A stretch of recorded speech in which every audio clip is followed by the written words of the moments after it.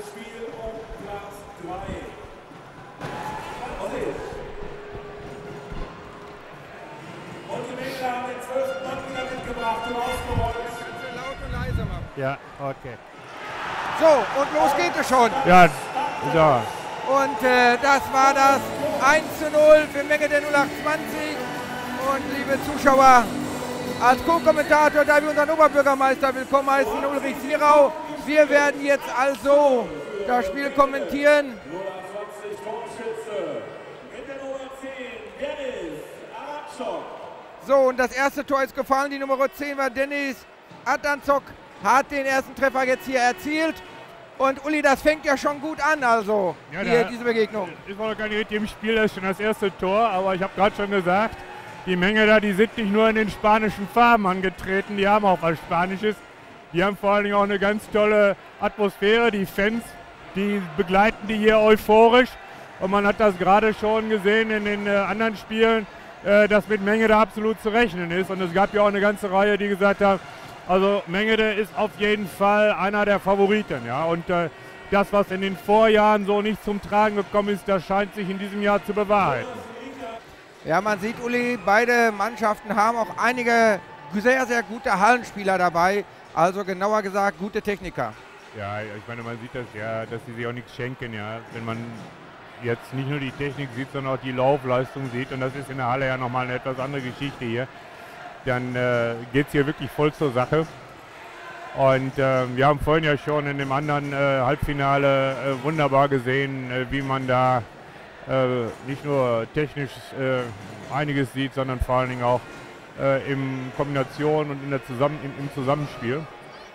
Und ähm, dass vor allen Dingen auch sehr konzentriert zur Sache gegangen wird. Ja? Und wer führt, äh, ja, geht auch schnell dran, damit die anderen gar nicht mehr groß zur Entfaltung kommen. Das sehen wir jetzt hier auch wieder, weil die Menge da auch sehr früh stören. Und ich glaube, die Freunde von ASC 09, die haben schon ein bisschen Problem, äh, hier dann auch tatsächlich äh, zu, ihrer Sp zu ihrem Spielsystem zu kommen. Die Zuschauer, sie gehen hier mit und das ist ganz, ganz wichtig. Ja, aber die Applerbecker, die kommen nicht so richtig zur Entfaltung. Die Menge da gehen früh drauf und äh, auch der Applerbecker Torwart hat nicht so die Meinung, sich ein bisschen mehr einzubringen ins Spiel. Das haben wir vorhin gesehen bei Brünninghausen. Da hat der Torwart viel stärker im Feld auch mitgespielt. Und ähm, so werden die das kaum aufgelöst bekommen. Da waren gerade die Menge der Fans im Bild gewesen mit Pauken und Trompeten. Also sorgen sie für richtig Stimmung und feuern ihre Mannschaft an. Und das war, ich habe es ja gerade schon gesagt, auch in der Halle Huckade so, dass sie die Halle zum Beben brachte. Und das ist natürlich auch das Schöne am Fußball. Hier in der Halle, die Fans sind ganz nah am Spielfeld und feuern natürlich dann ihre Mannschaft an. Aber da war ja schon eine Möglichkeit für den ASC. Und wenn man so die Spiele betrachtet, Uli, muss man sagen, oh, jetzt die Ja, die Menge, der suchen die Entscheidung. Also sie, merken, dass sie äh, Oberwasser haben und wenn sie jetzt hier den zweiten äh, Treffer setzen, dass es dann praktisch schon entschieden ist. Also deshalb äh, merkt man, jetzt steht so ein bisschen auf der Kippe. Ja, wieder hier geht der, ja, er geht wunderbar. Und der Ball ist Genau, ich hab's gesagt, ja. Und es ist genau das, äh, was man spüren konnte, ja. Was für eine Stimmung. Jetzt gucken wir uns mal die Fans da drüben an. Menge der, sie stehen da alle.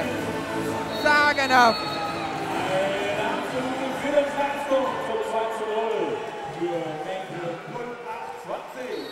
Torschütze, der 19 mit der Nummer 10, Dennis Aratschok. Ja, Dennis Abdozok war der Torschütze. ja. Wenn er so weitermacht, hätte er einen Hattrick. Und noch 2,42 in der ersten Halbzeit zu spielen, wie du schon sagtest. Also du hast die richtige Nase gehabt. Menge der will es wissen. Und Ja, wieder, hab ja. Ich den Eindruck, Stören Sie früh. sind einen Schritt schneller. Wie bitte?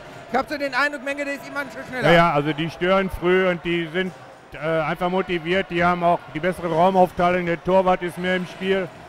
Und äh, da wissen die Applerbecker Augenblick nicht richtig mit umzugehen. Ja. Die wirken auch ein bisschen verunsichert und äh, als wenn sie nicht so einen Plan haben, wie sie das knacken sollen. Also die Menge da, die wirken äh, ein bisschen fast wie so ein äh, äh, Bollwerk auch, gerade wenn Schön gemacht. äh, die, ja, bumm, ja, ja, traumhaft. ja, wunderbare Kombination. Und ähm, damit ist es gelaufen, denke ich. Ja, Robin Diekmann hat jetzt zwar den Hattrick kaputt gemacht, aber ich glaube, damit können die gut leben. Dass sie jetzt 3 zu 0 führen und das nach äh, knapp neun Minuten, das ist schon äh, sehr überzeugend. Und ähm, das haben sich die Ablerbecker sicherlich auch ein bisschen anders vorgestellt. Das war jetzt eine schöne Parade von äh, Dominik Altwild nochmal, weil er damit das 4 zu 0 praktisch verhindert hat. Aber man merkt, Menge der ist am Drücken und das wird natürlich, wenn es dabei bleibt, ein spannendes Finale gegen die Freunde aus Brünninghausen. Und äh, wenn man das im Augenblick sieht, wie Menge der sich hier anstellt, dann sind die natürlich leicht favorisiert, aber die müssen gucken, dass sie jetzt auch nicht äh, ihr Pulver verschießen. Ne? Ja, irgendwie kommt der ASC nicht ins Spiel, muss man ganz deutlich sagen. Der kommt nicht mit dem, mit dem äh, Vorpressing zurecht. Ja, die Menge da stehen sehr hoch und äh, dadurch kommen die Applerbecker gar nicht richtig ins Spiel. Wenn sie mal durchkommen, dann haben sie auch ein bisschen Pech und kommen da nicht mit zurecht. Und äh, jetzt wieder ein Konter, ja, und man merkt, das ist richtig. Schön gemacht. Ja. Traumhaft.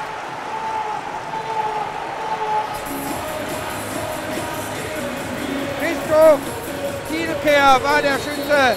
Einfach traumhaft. 35 Sekunden vor Schluss der ersten Halbzeit. Mann, die Menge, da kann man ja gar nicht wiedererkennen. Torschütze mit der Nummer 12. Nach einer wunderschönen Ja, Menge der spielt wie aufgedreht, aber auch, denke ich, äh, verdient jetzt mit 4 zu 0, weil sie die wesentlich bessere und engagiertere Spielanlage haben. Und der Torhüter aus Der Torhüter dann auch noch äh, hier äh, sozusagen kleine Einlagen liefert.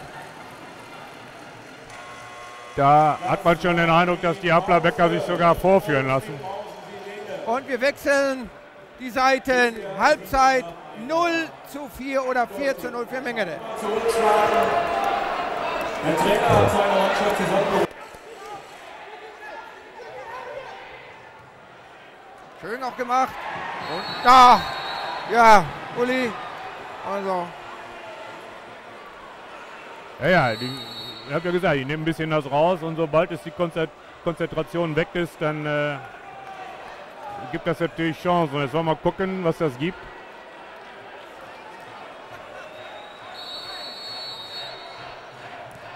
und Ja, der Ball ist das ist der Anschlusstreffer, den ich gerade schon angesprochen habe. Jetzt kommt er.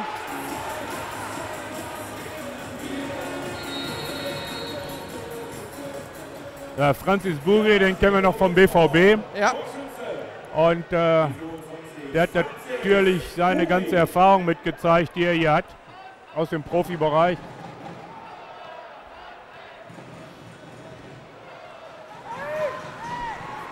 und.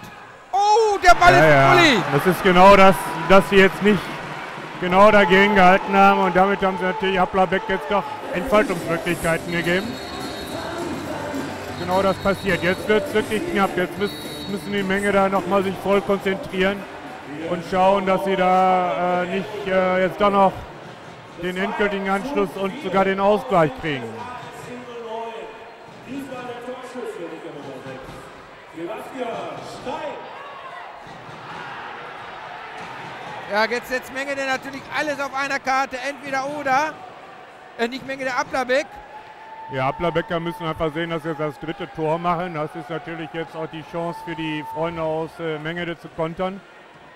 Äh, aber jetzt ist es so, dass Applerbeck äh, relativ hoch steht und natürlich auch äh, früh abfängt, was von Mengede da nach vorne gebracht wird. Aber die zollen jetzt natürlich auch ein bisschen dem Tempo, was sie zu Beginn der zweiten Halbzeit gegangen sind, Tribut. Das ist ja doch auch gerade in der Halle äh, nicht so ganz leicht, dann immer alles wirken auch jetzt bringen, sehr, sehr ne? nervös. Aber die Menge da schwimmen jetzt ein bisschen, ja. Ja. Aber die Menge da wehren sich jetzt und jetzt haben sie die Konterchance und das ist, Ja, und ist natürlich das jetzt dürften zwei äh, Minuten sein. äh, der Punkt, wo man sagen muss, da äh, werden Ja. die Applerbecker nicht froh sein, aber die zwei Minuten sind, glaube ich, berechtigt. Keine lange Diskussion, ja. Und Francis Bugri fällt jetzt für zwei Minuten aus, fünf Und Minuten gerade haben wir 15. ihn noch herausgehoben und jetzt äh, fehlt er den Ablerbeckern. Und das kann natürlich jetzt die Zeit sein, wo Menge da einfach auch den fünften Treffer markiert und dann dürfte das Spiel auch entschieden sein.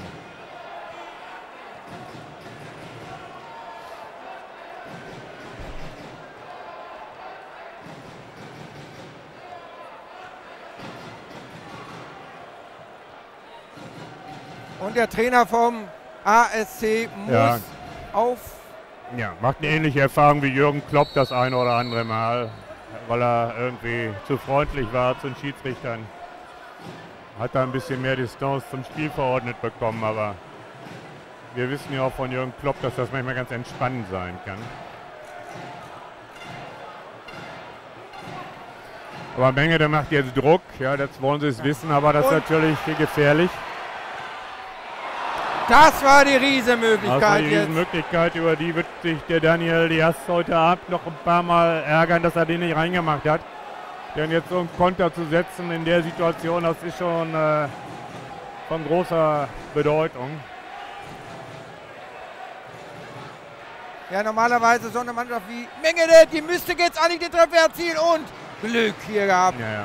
Hat die Abwehr vom ASC oder die Jungs. ja, da wird Robin Schulze auch von träumen, dass er den gerade nicht reingemacht hat, denn das wäre eigentlich die Riesenchance gewesen. Endlich, äh, 4 Minuten 19 Sekunden die Uhr steht. Und was gibt es jetzt? Glaube nicht. Oder? ah, ist eine deutliche Ermahnung, dass man es hier jetzt nicht übertreibt. Und ich denke, das ist es auch nicht wert, sich jetzt hier so zu engagieren, dass dann äh, ein, der eine oder andere da eine schwere Verletzung davon trägt.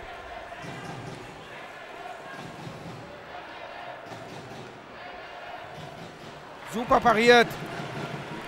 Vier Minuten noch zu spielen. Der Altfeld ist äh, jetzt zweimal wirklich grandios gewesen. Also wir sehen hier Also ein er hält im Prinzip die Applerbecker im Spiel, weil sonst äh, wäre der Drops hier schon gelutscht, wenn er die beiden jetzt nicht weggenommen hätte. Ja, jetzt gehen hier die Emotionen ein bisschen hoch. Das gehört natürlich auch dazu, aber soll man vielleicht doch nicht übertreiben. Ja, dadurch, dass Applerbeck jetzt draußen ist, haben die ein bisschen die Struktur verloren. Aber auch Menge, der denkt, naja, die sind nur einer weniger, da können wir auch Ja, mal ein bisschen offener stehen. Und da verlieren die auch so ein bisschen jetzt die das, Disziplin. jetzt die aber- Riesen, da muss die muss er doch machen! Ja, das ist natürlich bitter jetzt, das nicht zu versenken. Danny Schulze, den muss er doch reinhauen. Und wir haben gesehen, dass also wirklich bis auf die letzte Sekunde hier ein Treffer oder die letzten 30 Sekunden Treffer fallen können. Und die ganz, jetzt kann er alles klar machen. Ja, Und wieder eine Riesenmöglichkeit für Danny Schulze.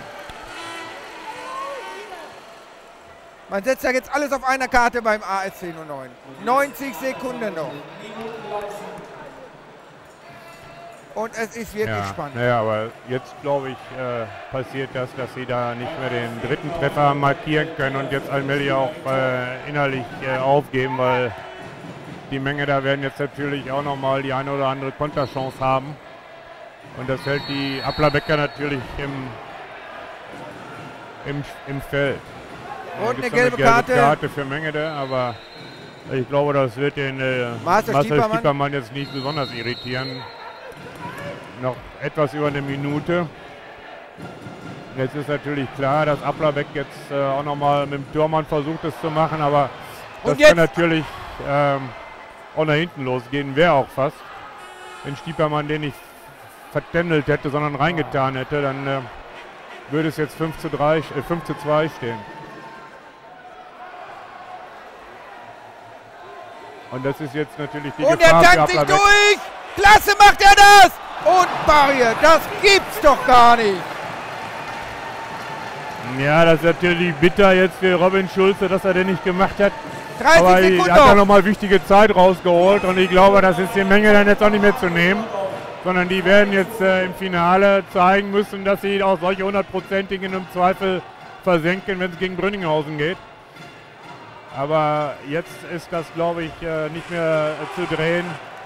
sondern ähm, die Menge da, die verteidigen jetzt natürlich mit Mann und? Maus. Auch jetzt noch der Treffer, aber das ist zu spät. Und äh, damit ist es klar, dass Mengele im Finale ist. Ein tolles Fußballspiel haben wir hier erlebt. 4 zu 3 gewinnt Menge der 0820 und wir freuen uns auf, eine, auf ein spannendes Endspiel hier mit den Fans von Mengede 0820. ASC 09 mit 4 zu 3.